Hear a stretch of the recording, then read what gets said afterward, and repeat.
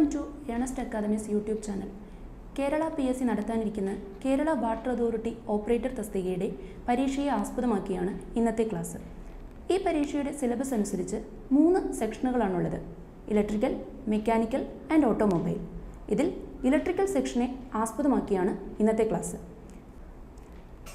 Electrical സെക്ഷന്റെ അണ്ടറിൽ വരുന്ന ഫണ്ടമെന്റൽസ് ഓഫ് ഇലക്ട്രിസിറ്റിയുടെ അണ്ടറിൽ വരുന്ന ഒരു ചെറിയ ടോപ്പിക്കാണ് ഇന്ന് ഡിസ്കസ് ചെയ്യുന്നത്. ഫാക്ടേഴ്സ് ഓഫ് റെസിസ്റ്റൻസ് ഈ ഒരു സെക്ഷനിൽ നിന്നും കേരള പി എസ് സി റിപ്പീറ്റഡായി ക്വസ്റ്റ്യൻസ് ചോദിക്കാറുള്ളതാണ്. പ്രോബ്ലമാറ്റിക്കായും തിയറി ബേസ് ചെയ്തും ക്വസ്റ്റ്യൻസ് സ്ഥിരം വരാറുള്ള ഏരിയയാണ് ഫാക്ടേഴ്സ് ഓഫ് റെസിസ്റ്റൻസ് എന്താണ് factors of resistance factors of resistance എന്ന് പറഞ്ഞു കഴിഞ്ഞാൽ റെസിസ്റ്റൻസിനെ ഡിപ്പെൻഡ് ചെയ്യുന്ന ഫാക്ടറുകൾ അല്ലെങ്കിൽ റെസിസ്റ്റൻസിനെ വേരി ചെയ്യാൻ കേപ്പബിലിറ്റി ഉള്ള ഫാക്ടറുകൾ എന്തെല്ലാമാണ്?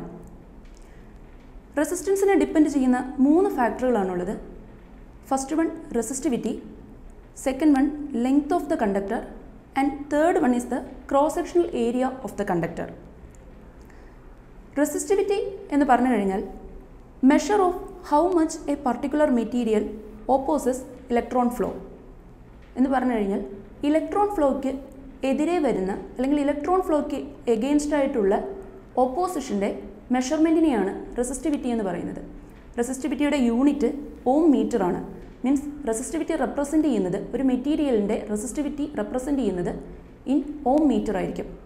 സെക്കൻഡ് പാരാമീറ്റർ എന്ന് പറയുന്നത് ലെങ്ത് ഓഫ് ദ കണ്ടക്ടറാണ് ലെങ്ത് ഓഫ് ദ കണ്ടക്ടർ എന്ന് പറഞ്ഞു കഴിഞ്ഞാൽ കണ്ടക്ടറിന്റെ ടോട്ടൽ ലെങ്ത്ത് അത് സ്പെസിഫൈ ചെയ്യുന്നത് ഇൻ മീറ്റേഴ്സാണ് തേർഡ് പാരാമീറ്റർ എന്ന് പറയുന്നത് cross sectional area of the conductor cross sectional area of the conductor എന്ന് പറഞ്ഞു കഴിഞ്ഞാൽ area of cross section of the conductor നമ്മൾ യൂസ് ചെയ്യുന്ന കണ്ടക്ടേഴ്സിന്റെ എല്ലാം ക്രോസ് സെക്ഷൻ എന്ന് പറയുന്നത് സർക്കുലർ ക്രോസ് സെക്ഷനാണ് സോ സർക്കുലർ ക്രോസ് സെക്ഷൻ ആയതുകൊണ്ട് തന്നെ cross sectional area of the conductor എന്ന് പറയുന്നത് പൈ ആർ സ്ക്വയർ ആണ്.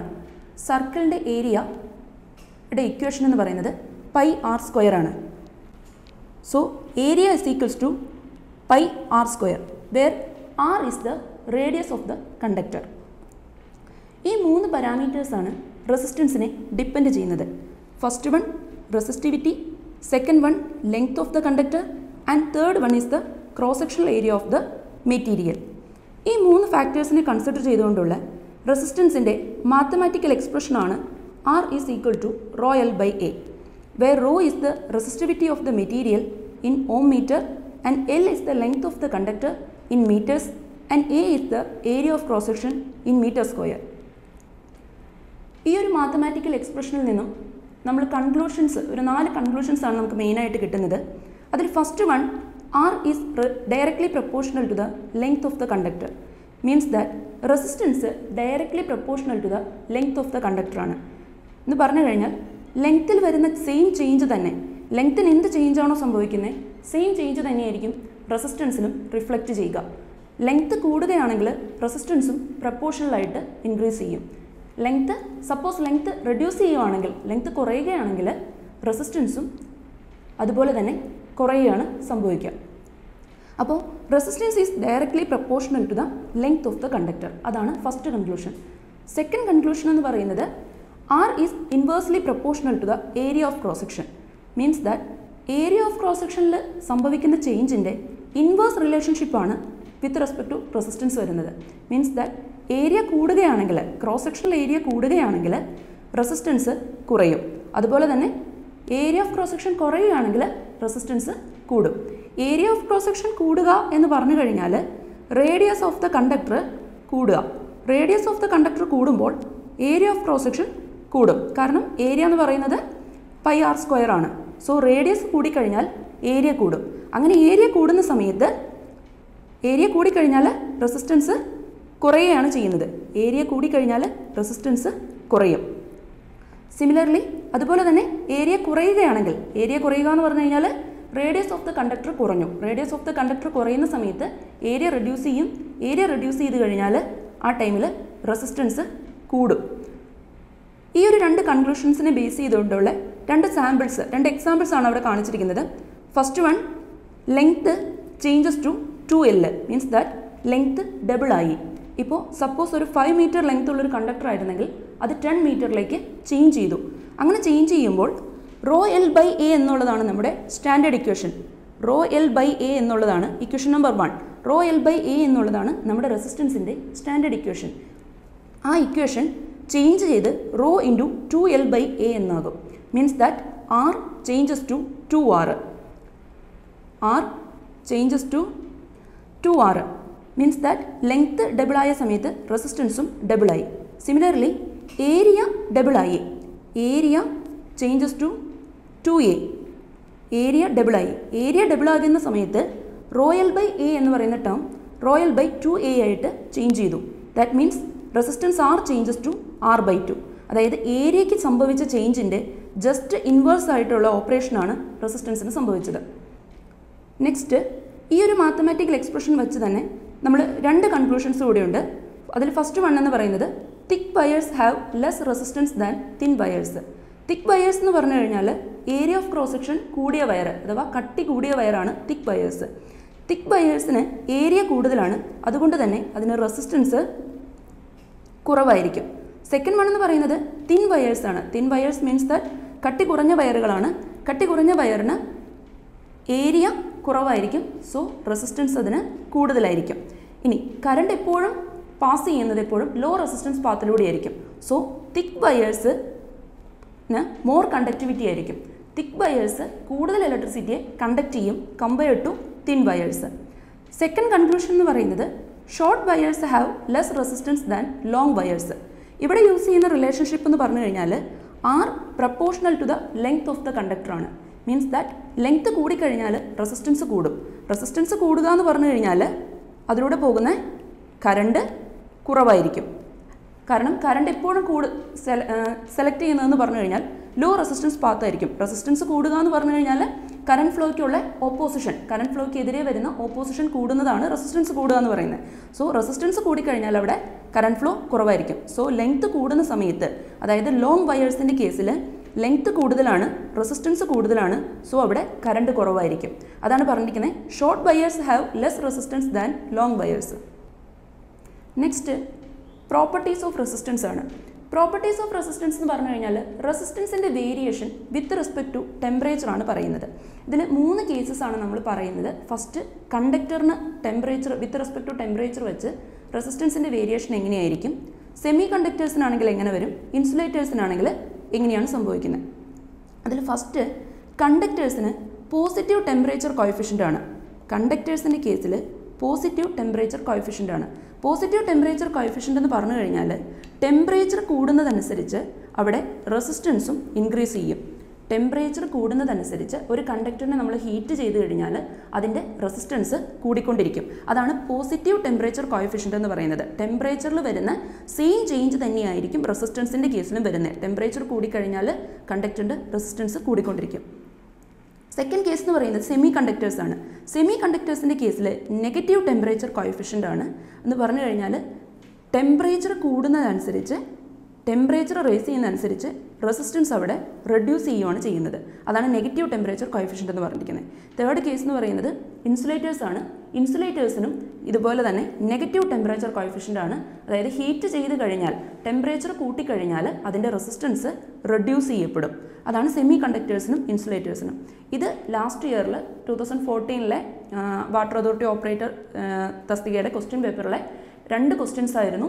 ഒന്ന് സെമി കണ്ടക്ടറിന്റെ ടെമ്പറേച്ചർ കോയിഫിഷ്യന്റ് എന്താണെന്നുള്ളതും പിന്നെ സെക്കൻഡ് വൺ എന്ന് പറയുന്നത് പോസിറ്റീവ് ടെമ്പറേച്ചർ കോയിഫിഷ്യന്റ് ഉള്ളത് മെറ്റീരിയലിനെ ഐഡന്റിഫൈ ചെയ്യാൻ പറഞ്ഞു. കണ്ടക്ടർ ആണോ സെമി കണ്ടക്ടർ ആണോ ഇൻസുലേറ്റർ ആണോ എന്ന് ചോദിച്ചുള്ളത്. അപ്പോൾ ഇത് വളരെ ഇമ്പോർട്ടന്റ് ആയിട്ടുള്ളൊരു ടോപ്പിക്കാണ് നമുക്ക് എക്സ്പെക്റ്റ് ചെയ്യാവുന്നൊരു ക്വസ്റ്റ്യൻ ആണ്.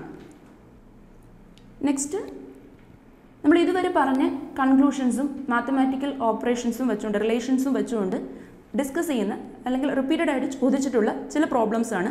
അതിൽ ഫസ്റ്റ് വൺ എന്ന് പറയുന്നത് if the length of the conductor is doubled then the resistance R becomes അതായത് കണ്ടക്ടറിന്റെ ലെങ്ത് ഡബിൾ ചെയ്ത് കഴിഞ്ഞാൽ റെസിസ്റ്റൻസിന് എന്താണ് സംഭവിക്കുക? ഇതും ലാസ്റ്റ് ഇയറിലെ പി എസ് സി ക്വസ്റ്റ്യൻ ആയിരുന്നു. കണ്ടക്ടറിന്റെ ലെങ്ത് ഡബിൾ ചെയ്ത് കഴിഞ്ഞാൽ റെസിസ്റ്റൻസിന് എന്ത് സംഭവിക്കും? നമ്മൾ നേരത്തെ പറഞ്ഞിരുന്നു ഒരു മാത്തമാറ്റിക്കൽ ഇക്വേഷൻ പറഞ്ഞിരുന്നു. R is equal to rho L by A ഇതിൽ R directly proportional to L ആണ്. R directly proportional to L ആണ്. മീൻസ് ദാറ്റ് ലെങ്ത് കൂടിക്കഴിഞ്ഞാൽ ലെങ്ത് ഡബിൾ ആവുക എന്ന് പറഞ്ഞാൽ ലെങ്ത് കൂടി. ലെങ്ത് കൂടിക്കഴിഞ്ഞാൽ റെസിസ്റ്റൻസ് ഉറപ്പായിട്ടും ഇൻക്രീസ് ചെയ്യും. ഇനി ആ ഇൻക്രീസ് എത്രത്തോളം ഉണ്ടെന്നറിയാൻ എത്രത്തോളം കൂടി എന്നറിയാൻ വേണ്ടിയിട്ട് നമ്മൾ ഈ സ്റ്റാൻഡേർഡ് ഇക്വേഷനകത്ത് സബ്സ്റ്റിറ്റ്യൂട്ട് ചെയ്യുക. അതാണ് അവിടെ ചെയ്തിരിക്കുന്നത്. താഴെ അതൊന്ന് ഈസി ആയിട്ട് അനലൈസ് ചെയ്യാൻ വേണ്ടിയിട്ട് ഒരു ടേബിൾ ഫോർമാറ്റിൽ കൊടുത്തിരിക്കുന്നതാണ്. നോർമൽ കേസിലെ resistivity റോയാണ് length of the conductor L ആണ് area of cross section A ആണ്. ആ ടൈമിലുള്ള റെസിസ്റ്റൻസിന്റെ ഇക്വേഷൻ എന്ന് പറയുന്നത് R is equal to rho L by A ആണ്. ദെൻ ന്യൂ കേസിൽ റെസിസ്റ്റിവിറ്റിക്ക് ചേഞ്ച് ഒന്നുമില്ല. അത് റോ തന്നെയാണ്. ലെങ്ത് ഓഫ് ദ കണ്ടക്ടറിന് മാത്രമാണ് അവിടെ ചേഞ്ച് സംഭവിച്ചത്. അത് length of the conductor L എന്നുള്ളത് ടു എൽ ആയിട്ട് ചേഞ്ച് ചെയ്തു. ഏരിയ ഓഫ് ക്രോസ് സെക്ഷനും ചേഞ്ച് ഒന്നുമില്ല. ഈ മൂന്ന് വാല്യൂസ് ഈ ന്യൂ കേസിൽ ഈ മൂന്ന് വാല്യൂസ് നമ്മൾ സ്റ്റാൻഡേർഡ് ഇക്വേഷനകത്ത് സബ്സ്റ്റിറ്റ്യൂട്ട് ചെയ്യാം അപ്പോൾ rho into L by A എന്നുള്ളിടത്ത് rho into two L by A എന്ന് ചേഞ്ച് ചെയ്തു. That means that's equal to two R അതായത് length of the conductor double ചെയ്ത് കഴിഞ്ഞപ്പോൾ റെസിസ്റ്റൻസ് ആറും ഡബിൾ ചെയ്തു. സോ ഓപ്ഷൻ ബി ആണ് കറക്റ്റ് ആൻസർ ടു ആർ ആണ്. ലെങ്ത്തിന് വന്ന സെയിം ചേഞ്ച് തന്നെയാണ് അവിടെ റെസിസ്റ്റൻസിനും വരുന്നത്. സെക്കൻഡ് ക്വസ്റ്റ്യൻ എന്ന് പറയുന്നത് if the length is doubled and area is have then the resistance R becomes ഇവിടെ ലെങ്ത്ത് ഡബിൾ ചെയ്തു ഏരിയ ഹാഫ് ആക്കി. ആദ്യത്തെ കേസിൽ ലെങ്ത്ത് ഡബിൾ ചെയ്യുക മാത്രമാണ് ചെയ്തത് ഫസ്റ്റ് ക്വസ്റ്റിനകത്ത് സെക്കൻഡ് ക്വസ്റ്റ്യനിൽ ലെങ്ത്ത് ഡബിൾ ചെയ്യുകയും ഏരിയ ഹാഫ് ആക്കുകയും ചെയ്തു. ദെൻ റെസിസ്റ്റർ എന്ത് ചേഞ്ചാണ് വരുന്നത്? ഇവിടെ നമ്മൾ അതുപോലെ തന്നെ നമ്മുടെ സ്റ്റാൻഡേർഡ് ഇക്വേഷനകത്ത് സബ്സ്റ്റിറ്റ്യൂട്ട് ചെയ്യുക. അതിൽ നോർമൽ കേസിലുള്ള റെസിസ്റ്റിവിറ്റി റോയാണ് ലെങ്ത്ത് എല്ലാണ് ഏരിയ എ ആണ് സ്റ്റാൻഡേർഡ് ഇക്വേഷൻ എന്ന് പറയുന്നത് R is equal to rho L by A ആണ്. ന്യൂ കേസിൽ റെസിസ്റ്റിവിറ്റിക്ക് ചേഞ്ച് ഒന്നുമില്ല. അത് റോ തന്നെയാണ്. ലെങ്ത്ത് ചേഞ്ച് ചെയ്ത് ടു എൽ ആയിട്ട് മാറി ഏരിയ ചേഞ്ച് ചെയ്ത് എ ബൈ ടു ആയിട്ട് മാറി. സോ നമ്മൾ സ്റ്റാൻഡേർഡ് ഇക്വേഷൻ അത് സബ്സ്റ്റിറ്റ്യൂട്ട് ചെയ്യുമ്പോൾ റോ ഇന്റു എല്ലിന്റെ സ്ഥാനത്ത് ടു എല്ല് വരും. എയുടെ സ്ഥാനത്ത് എ ബൈ ടു വരും. So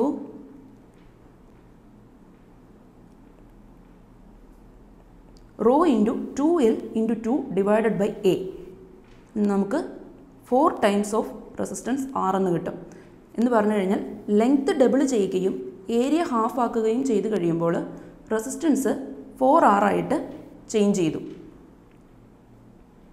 then third question third ക്വസ്റ്റ്യനകത്ത് പറയുന്നത് if the length is half and the area is doubled then the resistance R becomes തൊട്ട് മുന്നത്തെ ക്വസ്റ്റ്യനിൽ പറഞ്ഞതിനെ നേരെ ജസ്റ്റ് ഓപ്പോസിറ്റ് ചെയ്തേക്കുന്നു. അവിടെ ലെങ്ത് ഡബിൾ ചെയ്തു ഏരിയ ഹാഫാക്കി ഇവിടെ ലെങ്ത്ത് ഹാഫാക്കി ഏരിയ ഡബിൾ ചെയ്തു. അന്നേരം റെസിസ്റ്റൻസിന് എന്താണ് സംഭവിക്കുന്നത്? ഇതും ഫസ്റ്റ് കേസ് പോലെ തന്നെ ആദ്യത്തെ കേസ് ചെയ്ത പോലെ തന്നെ നോർമൽ കേസിലെ റെസിസ്റ്റിവിറ്റി റോയാണ് ലെങ്ത്ത് എൽ ആണ് ഏരിയ എ ആണ് റെസിസ്റ്റൻസിന്റെ equation R is equal to rho L by A ആണ്. ദെൻ ന്യൂ കേസിൽ വരുമ്പോൾ റെസിസ്റ്റിവിറ്റിക്ക് ചേഞ്ച് ഒന്നുമില്ല അതങ്ങനെ തന്നെ നിൽക്കുന്നു. ലെങ്ത്തിന് ചേഞ്ച് വന്നു. എൽ എൽ ബൈ ടു ആയിട്ട് ചേഞ്ച് ചെയ്തു. ഏരിയ ടു എ ആയിട്ട് ചേഞ്ച് ചെയ്തു. ദെൻ റോ എൽ ബൈ എയിൽ നമ്മൾ സബ്സ്റ്റിറ്റ്യൂട്ട് ചെയ്യുക then rho into L by two divided by two A that means rho L by four A ഇതിൽ rho L by A എന്ന് പറയുന്ന ടേം എന്ന് പറയുന്നത് ആറാണ് സോ ആർ ബൈ ഫോർ ആയി. നോർമൽ കേസിൽ നിന്നും ന്യൂ കേസിലേക്ക് വന്നു കഴിഞ്ഞപ്പോൾ ആറ് ആർ ബൈ ഫോർ ആയിട്ട് ചേഞ്ച് ചെയ്തു. റെസിസ്റ്റൻസ് റെഡ്യൂസ് ചെയ്തു. അപ്പോൾ ലെങ്ത്ത് ഡബിൾ ചെയ്യുകയും ഏരിയ ഹാഫ് ആക്കുകയും ചെയ്തപ്പോൾ റെസിസ്റ്റൻസ് ഫോർ ടൈംസ് ആയിട്ട് ഇൻക്രീസ് ചെയ്തു. ഇവിടെ ലെങ്ത്ത് ഹാഫ് ആക്കുകയും ഏരിയ ഡബിൾ ചെയ്യുകയും ചെയ്തപ്പോൾ ശ്രദ്ധിക്കുക ലെങ്ത്ത് ഹാഫ് ആക്കുകയും ഏരിയ ഡബിൾ ആക്കുകയും ചെയ്തപ്പോൾ resistance R R by four ആയിട്ട് റെഡ്യൂസ് ചെയ്തു. സോ ഓപ്ഷൻ സി ആണ് correct answer next fourth question the conductor shows P T C option A P T C option B N T C option C zero option D none of the above ഇത് തൊട്ട് മുന്നേ നമ്മൾ പറഞ്ഞതാണ് കണ്ടക്ടറിന് മാത്രമാണ് positive temperature coefficient ഉള്ളൂ. കണ്ടക്ടറിന് മാത്രം പോസിറ്റീവ് ടെമ്പറേച്ചർ കോയഫിഷ്യന്റ് ആണ്. ദാറ്റ് മീൻസ് കണ്ടക്ടറിന്റെ കേസിൽ മാത്രം ടെമ്പറേച്ചർ കൂടുന്നതനുസരിച്ച് റെസിസ്റ്റൻസ് കൂടിക്കൊണ്ടിരിക്കും. ടെമ്പറേച്ചർ കൂടുന്നതനുസരിച്ച് റെസിസ്റ്റൻസ് കൂടുകയാണ് അവിടെ ചെയ്യുന്നത്. അതുകൊണ്ട് ഓപ്ഷൻ എ ആണ് correct answer sec fifth question the temperature coefficient of resistance of a semiconductor semi കണ്ടക്ടറിന്റെ കേസിൽ സെമി കണ്ടക്ടറിനും ഇൻസുലേറ്ററിനും നെഗറ്റീവ് ടെമ്പറേച്ചർ കോയഫിഷ്യന്റ് ആണ്. സോ ഓപ്ഷൻ ബി ആണ് കറക്റ്റ് ആൻസർ ഇന്നത്തെ ക്ലാസ്സിൽ നമ്മൾ ഡിസ്കസ് ചെയ്തത് ഫാക്ടേഴ്സ് ഓഫ് റെസിസ്റ്റൻസ് ആയിരുന്നു. മൂന്ന് ഫാക്ടേഴ്സാണ് ഡിപ്പെൻഡ് ചെയ്യുന്നത്. Resistivity length of the conductor and area of cross section അതിനെ ഡിപ്പെൻഡ് ചെയ്തിട്ടുള്ള അതിനെ ബേസ് ചെയ്തിട്ടുള്ള പ്രോബ്ലംസ് ആണ് ഡിസ്കസ് ചെയ്തത്.